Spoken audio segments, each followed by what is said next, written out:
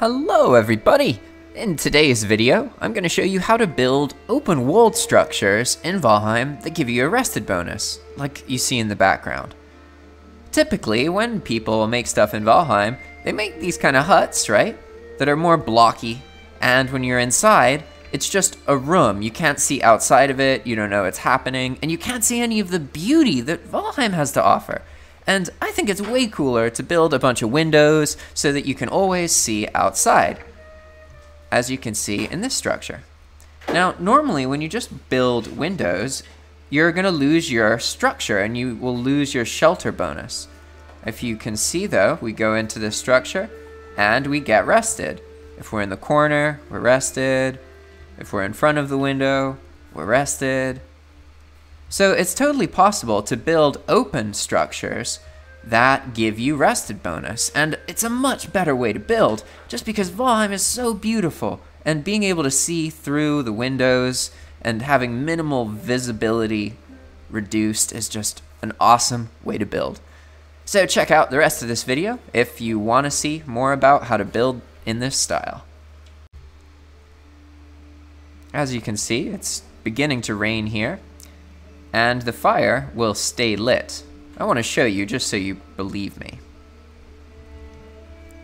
Even though we can go out here, and there's actually like a tiny bit of rain coming in sometimes, right?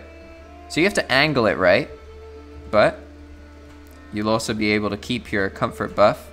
As you can see, I'm rested, even though the graphic for the rain is coming in here. It doesn't seem to matter.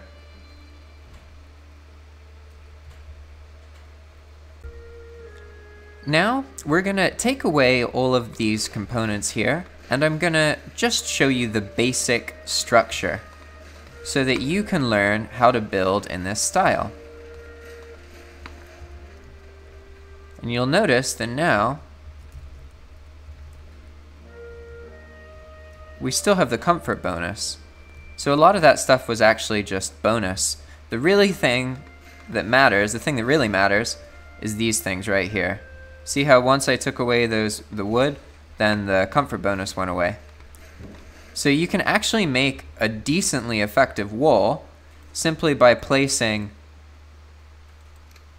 the wood on top of a lower wooden wall just like this. As long as you have these two components and you have proper roof coverage, then you're going to get a rested bonus. Let me just make a workbench real quick.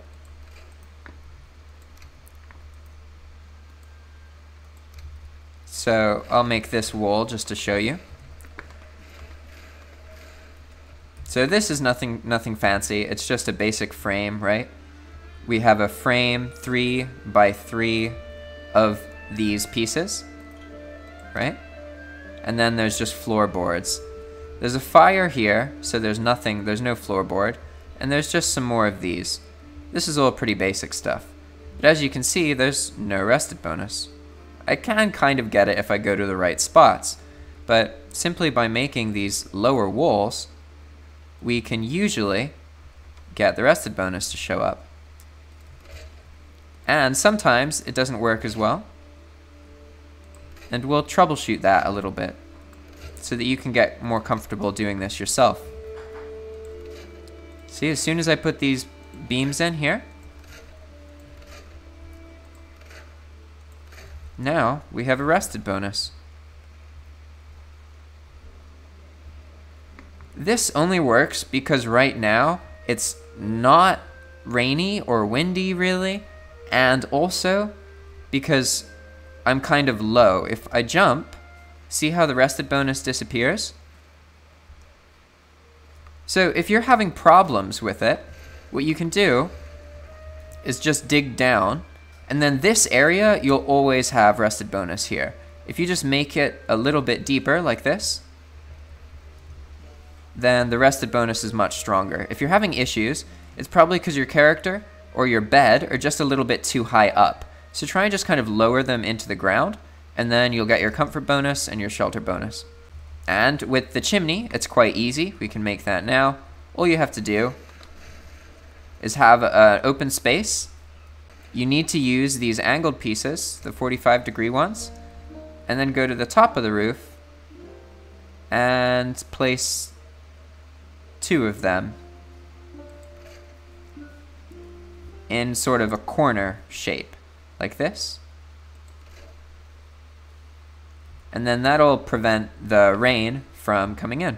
And if it's not working, then just kind of angle them a little bit differently. You can change it so it's like, instead of like that, it's like sideways a little bit. Based on where you built your structure, you might have to change it a little bit. Then there's a few more tricks that you can use. But the basics of all the tricks is using wooden beams and doing stuff like this to sort of make these walls that have spots you can see through. And the game's going to treat these like they are full walls, even though they're not, and you can obviously see through them. So let's kind of look at that. Let's try and find some weak spots in the shelter here.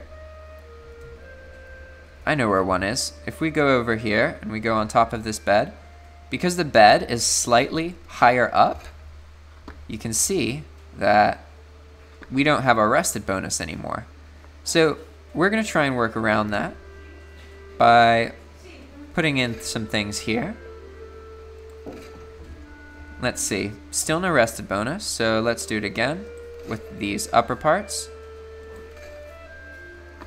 now we're getting smoked and still no rested bonus. So I have an idea. Instead of using the bed this way, what we're going to do is try and have the bed be a little bit closer to the ground. And that'll probably make sure that we have our rested bonus. So I'm going to inset it, just like this.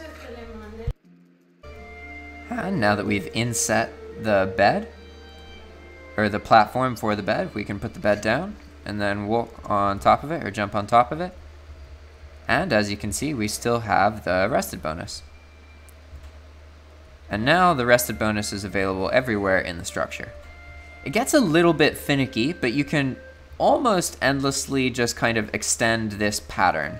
So I'll show you, it works better when you have these beams in sort of these window kind of shapes, just like Let's do this one actually. I like how that looks. Ah, here, just like that. So if you just kind of make these, I guess it's a, a hexagon, right? One, two, three, four, five, six, yeah? If you make these kind of six-sided shapes, you can have a really long wall, and as long as your, your roof overhangs a little bit, see, you can't do this if your roofs end right there. The roofs have to overhang. It's uh, important. Now, that's it for this video.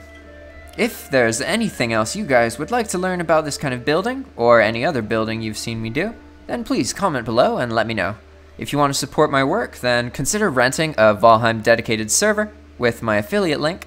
It's usually between 15 and $20 per month per server, so you can split that and it's only like 5 bucks per person if you're playing with three other friends and that way I'll get a cut of that and you can use the dedicated server by looking at the tutorial I have shown on the screen now which shows you exactly how to keep your own Valheim dedicated server that your friends can join whenever they want.